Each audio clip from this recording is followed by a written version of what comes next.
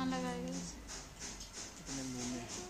मेरी कोडिंग हो रही है चुप रहे झाड़ू लगा रहा था तो पूरा ही बाहर आ रहा है।